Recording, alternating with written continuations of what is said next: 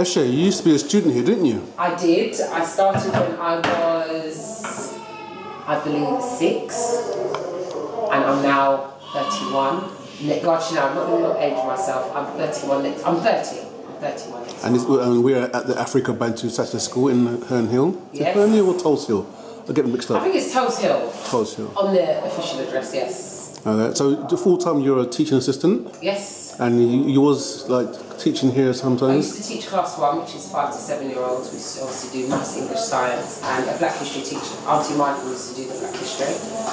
But because it became, because of my demands of my full time job, I decided to then switch to doing the food full time. Mm. So now you're dealing with the food. Yes, And we've got some healthy sandwiches, got some sandwiches. fruit juice, We've got some fruit juice. no fizzy drinks. No fizzy drinks. No, no, no, no, no, no, no. And we've got some fruit. And some fresh fruit. And yes, they get that at quarter two, and they have a 20 minute break, and then they go back to lessons at 10 past. Excellent. And what, what happens to you after lunch?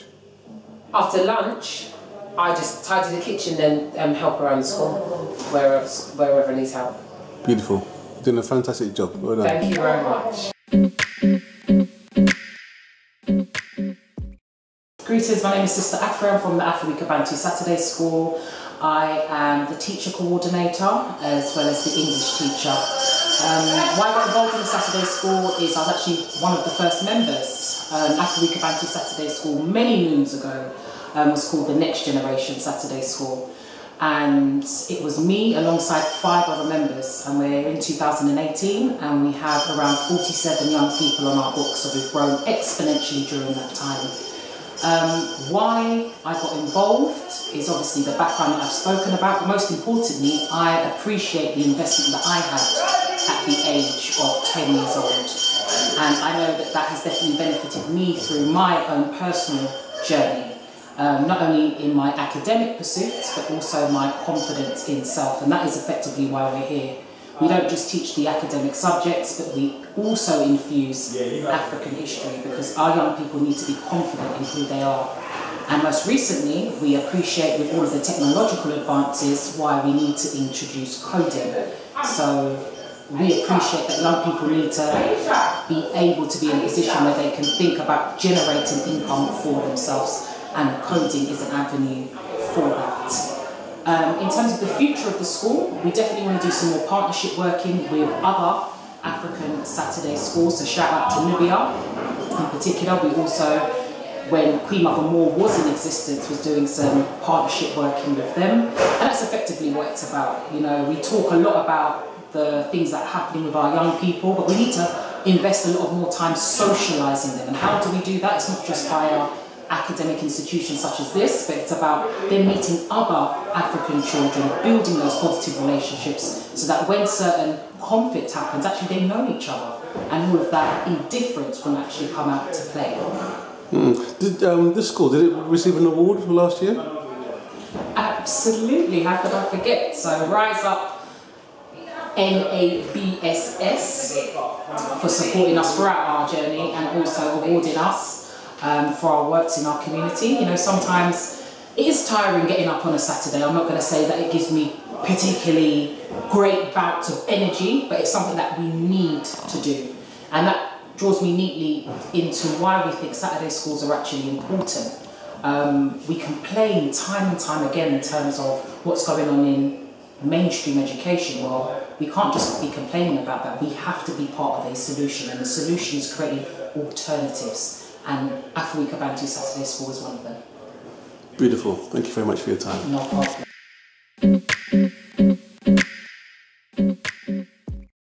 Right, uh, I'm Ian Cameron and I'm at the African Bantu Saturday School and um, I, this is my second stint here. I came here initially um, to do African history but um, I ended up doing uh, maths because I'm a mechanical designer by profession, engineer, mechanical designer project manager so the maths I, I, I did and I um, In fact, Tumani, who is now doing the science, is one of the youngsters uh, that I did maths with.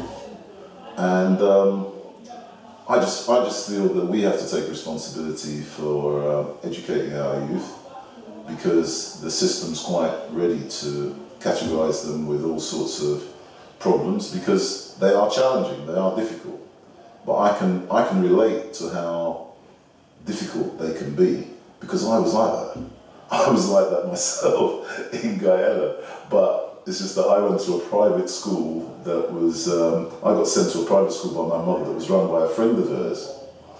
And this woman used to flog me regularly every day. And I, I went home one day because my mother was a teacher as well. She taught in um, Haringey um, at a, uh, um, a sort of junior and infant school up there. And um, but this woman was a friend of hers, so um, I went home and uh, my mother noticed a cane mark on my leg and said, um, Miss Jackson's been I said, no, no, she didn't see it. I, she gave me some more. She said, Miss Jackson's my friend and she wouldn't beat you for nothing. so, but when I came to the UK at the age of eight and I had a reading age of 15, I couldn't take too much credit for that, could I? Because I know that I just wanted to run the seawall and do what I wanted and whatever. And that's why I can relate to some of the more not particularly interested youngsters, etc. But fortunately, we don't have that many of them. I'm really impressed with how much effort they put in in their spare time on a Saturday to the work that we, we're doing with them. So how did you get involved with the school? Well, as I said, I, I came, uh, I was looking for, uh, I think African history is the key to our um, the African Renaissance. And so that's what I was uh, focused on trying to get involved in teaching. But there's always been someone here in that role. And so um, the, the, person doing the maths, they were short. So I, I, I switched to the maths, but um, African history is one of my, uh, an ongoing passion because um, I think that um, that when once you're knowledge base, once you're aware of where, where, where we're coming from, then you're going to have a much more, um, you're, you're, much more confident in your own ability to produce and be productive and, and everything else. And realistically, we've still been very, very productive over the last 5,000 years, despite being literally warred on by uh, Semites, Arabs, and eventually Europeans. So those aspects of history aren't projected and promoted enough. The seminal role of Nubia, Egypt, when it was run by the African pharaohs like Amenhotep and Khufu and Khafre and Menkaure and all these great African leaders. Most people, it's not, it's not part of our knowledge base. How many people are aware of that? Of that? And to, realistically, I wouldn't expect that projected and promoted in um, within the status quo schools in the USA, UK, or anywhere else in the um, diaspora. But in our schools, that's our responsibility. It's a must. That's that, that, that, that that's it's, it's, it's a standard thing. I, I mean, when I, I and I, I'm just baffled as to how difficult it is to get our leadership focused on. It's it's so doable. We've got the works of Dr. Ivan van Sertima, um, um, a whole collection of books. Um, Anthony T. Browder is still alive. Um, Asa Hilliard III, um, Dr. Henrik Clarke. We, there's, there's, there's so much of our history that's now available.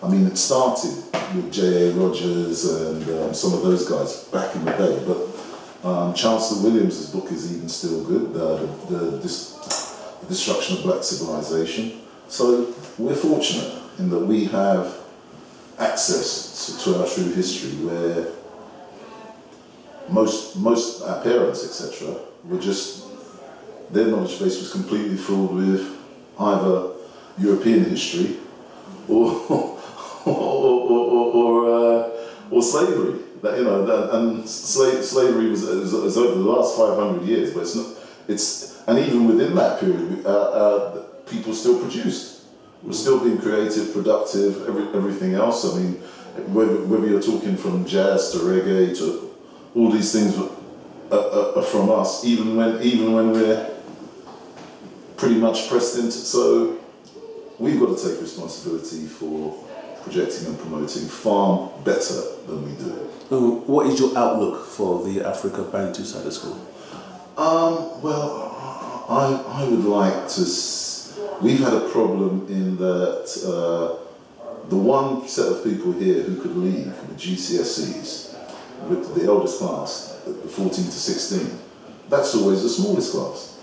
Where I would expect that, that to be the largest class, because I can't believe that in South London, none of the youth need support to get through their GCSEs because that's that's the that's the that's the easily the most challenging part of it, of of your adolescence is, is getting through that first set of serious exams, and whereas those lower years they you know they are they- they're all pursuing SATs. You can't show anyone your SAT grades. You know, no one, no one, no one says, "Well, I'm not going to employ you because you, uh, or I'm going to employ you because your SAT grades, SAT grades were brilliant." But when you've got your GCSEs, that gives you the op- option to go on to advanced levels in subjects of your choice, or um, at least you, you know that you're literate and numerate enough to start doing things for yourself.